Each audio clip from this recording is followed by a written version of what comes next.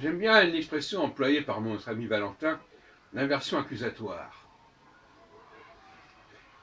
L'inversion accusatoire consiste à accuser l'autre de ce qu'il nous accuse, ce dont, ce dont il nous accuse. Alors, Valentin, dans une vidéo qu'on a prise hier, reproche le matérialisme des juifs ou de l'argent. Alors, je ferai deux observations à ce sujet. D'une part, les chrétiens sont appropriés l'héritage des juifs. Donc en termes d'appropriation, ils n'ont guère de leçons à donner à qui que ce soit. Ils ont spolié, on faisait pendant la Seconde Guerre mondiale, les juifs de leurs biens.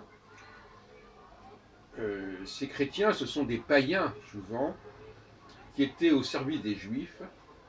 C'était des serviteurs, des esclaves, et ils avaient une revanche à prendre. Et donc, ils se sont appropriés euh, ces biens comme à d'autres époques. Il y a eu l'appropriation euh, des biens sous la Révolution, etc.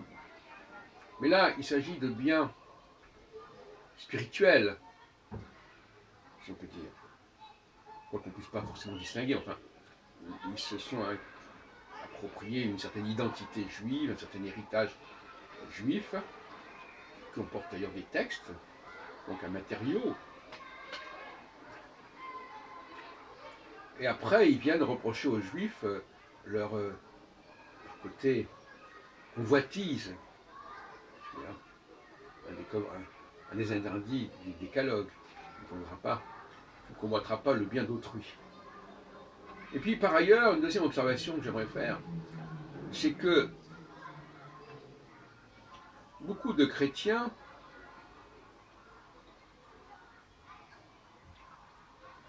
euh, utilisent l'antisémitisme l'antijudaïsme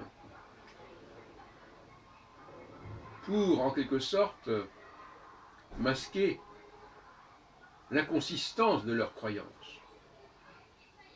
l'inconsistance du personnage de Jésus, l'inconsistance de ses, de ses miracles. Car si on compare les performances de Jésus à celles, de Moïse, ça ne fait pas lourd.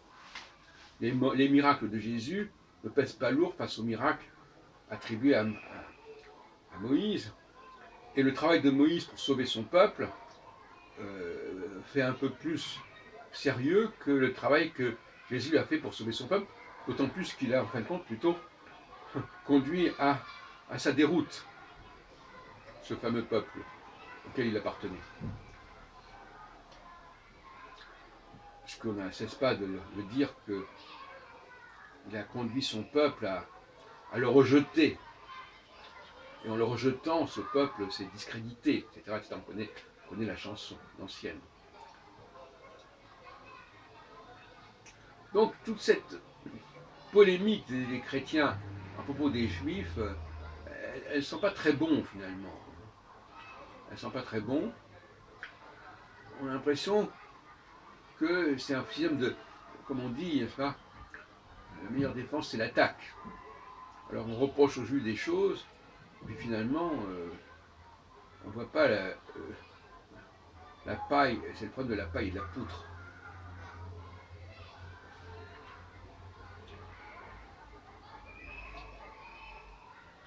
Donc, il y a un climat assez empoisonné et il faudrait clarifier les choses. Et alors, je répète encore une fois que le problème euh, de ces fameux païens qui sont venus, qui sont devenus chrétiens, qui en fait compte voulaient surtout devenir juifs, euh, c'est que c'était des esclaves et que finalement revendication euh, purement religieuse a été instrumentalisée par, des enjeux sociétaux, des enjeux de revendication sociale, des enjeux de revanche sociale. Tout ça tout ça non plus n'est pas très reluisant.